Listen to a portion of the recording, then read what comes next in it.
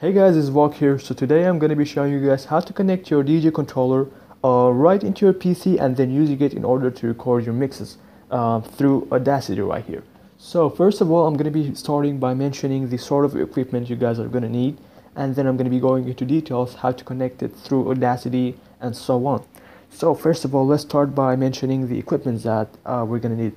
Uh, before I begin, guys, I forget to tell you this thing. Um, most of the time, people face this problem when they connect their when they you know they want to record their mixes through Audacity when they're using the controllers. Is that uh, most of the time we all know that the controllers just mainly have one output. Most of the controllers out there they just have one output. So it's a problem for people mainly. That's the issue that they cannot listen to their mixes while they want to record their while they're gonna be recording it at the same time. excuse me. Uh, so anyways i'm gonna be starting by showing you guys the equipment that we're gonna need. So first of all we're gonna need an aux cord and the a i'm sorry yeah not an aux cord the uh, audio splitter. And as you guys can see uh, this is an audio splitter. Uh, any sort of audio splitter would do. It should be looking similar to this one uh, a male to female ports um, so uh, if you guys this is like the most important cable that we're gonna use out of the bunch because it's gonna be helping us in order to separate the audio it's an audio splitter. So right here we have our audio splitter.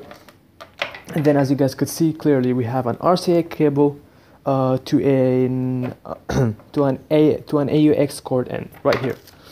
So as you guys could see it's an RCA cable to an uh, AUX cord end. You guys could find those in the market anywhere uh, but you also need this. It's very important. So uh, and finally we have our AUX cord the normal AX cord, which is mainly connected to your PC speakers, uh, like those ones, for example, that I'm having right now. They don't really have to look similar to these ones.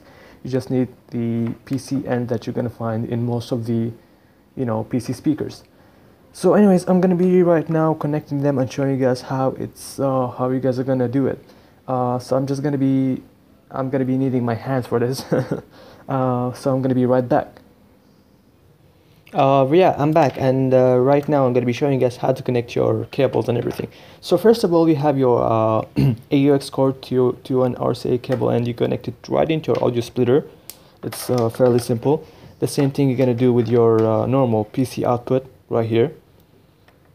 then when you're done doing that, you, you will have your uh, audio splitter one end. you just want to connect it right into your line in. Let me show you real quick.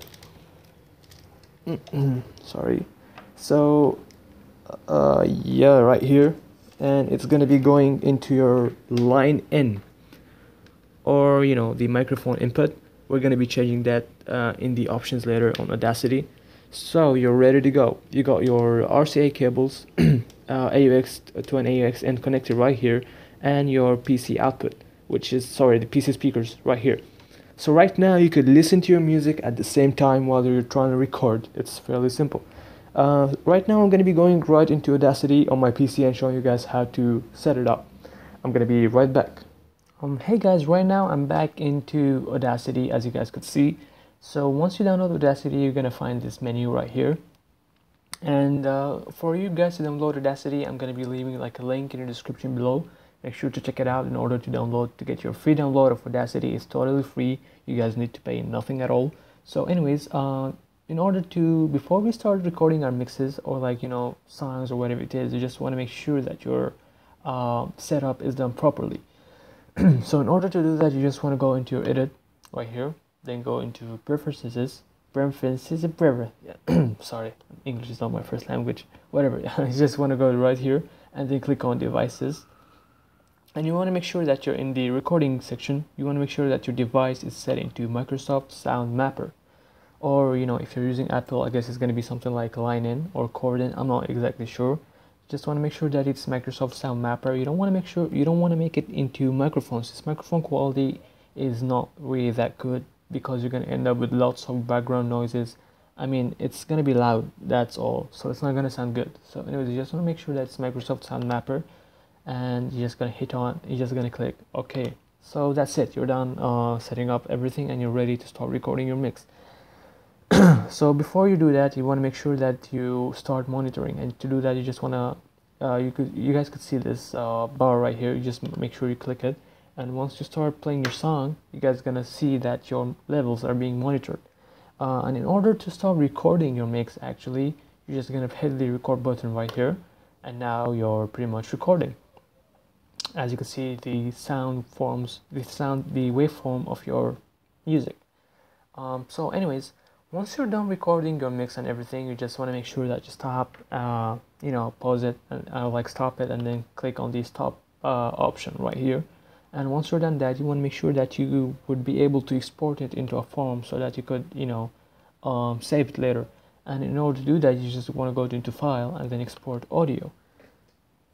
Um, excuse me sorry. Uh, so anyways right now once you're done that you want to make sure to uh, this window will pop up and you want to make sure to select your destination right here and then uh, give your file uh, the name that you want to.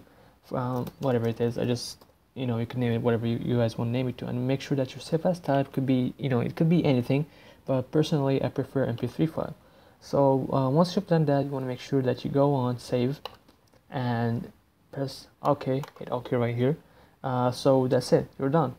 Um, once you're done that uh, your mix automatically is going to be saved into destination that you've saved it in and you're ready to you know uh, save it into a whatever guy whatever you want to save it into. But I, you know just before you you guys use audacity i just want to give you guys like a quick head up heads up uh, that the you know the quality that you guys gonna get from audacity is gonna be limited depending on your sound card. If you have like a really good sound card it might sound good but anyways uh, you're gonna end up with lots of background noises. I'm not not not really like lots of background noises but like it's not gonna sound to be honest like you know pretty much professional.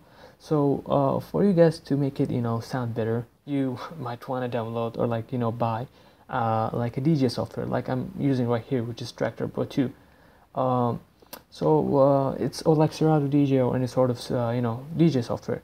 Since you know the recording quality of Audacity is not really that much of high quality.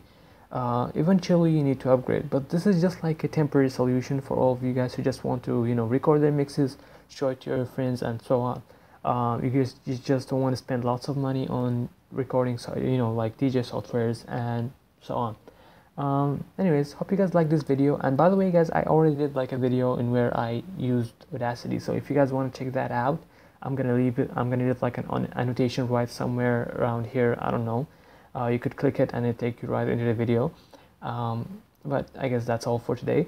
So thank you guys for watching this video. If you guys did like it make sure to leave a like and subscribe to the channel if you're new. And hopefully I'm gonna be seeing you guys next time. Goodbye for now